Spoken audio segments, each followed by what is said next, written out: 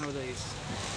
But when the Portuguese arrived here, they took lots and lots of those trees to Portugal to make, um, how do you say that? Um, Furniture? not furniture, uh, tecido. Oh, dyes for Yeah, garments. Dyes, because it's a red color, strong red color, you know?